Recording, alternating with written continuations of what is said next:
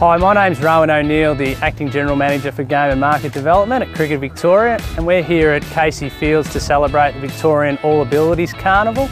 22 teams from across the state representing various areas and clubs are playing in the 10 over tonk and the Super 8s competition. And from our Super 8s competition, we'll be selecting the Victorian Vikings team to represent Victoria at the next national competition.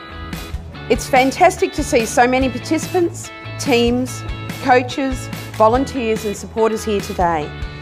Many of you have travelled a long way to take part in this great event and I promise you it will be an enjoyable day involving plenty of fun.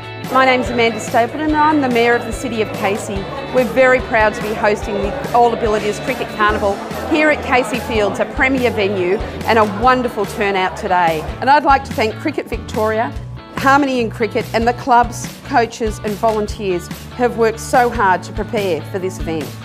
At the end of the day, the Victorian Vikings state squad will be picked out of the best players from the carnival and they'll be presented with their caps on Wednesday at the MCG at the final of the Ryobi Cup where the Victorian Bushrangers will be playing.